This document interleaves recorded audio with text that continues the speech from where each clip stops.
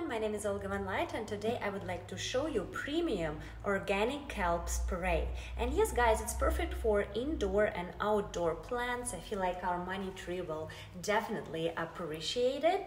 And yes, it contains nitrogen, phosphorus and soluble potash as well as zinc, uh, carbohydrates and magnesium. And it must be stored in a cool place. And basically how you use it, you shake it well and then spray evenly over your plant's leaves and stems. So yes, guys, that's exactly what I'm going to do. And it actually comes uh, with a sprayer as well. So that's definitely a great, great addition.